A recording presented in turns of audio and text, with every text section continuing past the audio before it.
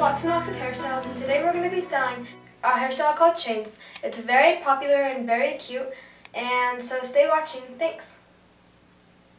Just take a section of your hair. You're going to want it pretty thick. It's about an inch and flip it over to the other side. I know it looks ridiculous but just do it. Then you're going to want to gather your hair in a bun or a ponytail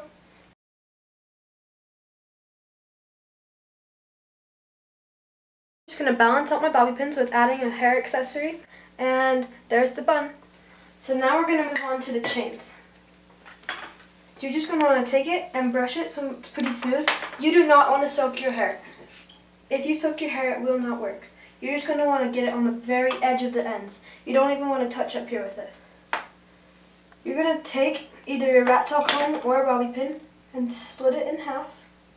And you're going to want to make sure you can get it as even as possible. So then, you know when you were tying your shoe, you're just going to tie a shoe knot.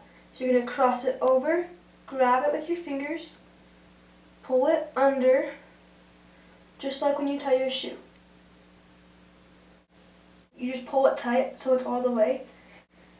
So then you're going to just take it, you have it in two pieces, stick these fingers in the middle, turn it, grab it, pull it under. Just like when you tie your shoe, except for here's the gist. On this one, you aren't going to pull it through.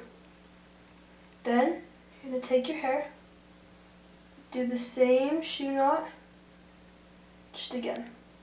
And then pull it a little tighter just to adjust the size.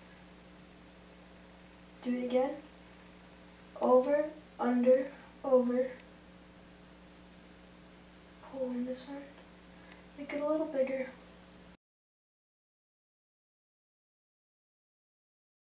It looks pretty crazy at the ends, but we're going to hide those in a second. You're going to hold where your fingers are, stick a bobby pin through it, and then bobby pin it into your bun. You're going to take this piece that hangs out, stick it into it, and if there's any other pieces, then you're going to want to hide it. There is the chain hairstyle. It's really cute. I wear it to school all the time and I get a ton of compliments. It's super easy to do and super quick. So there you go.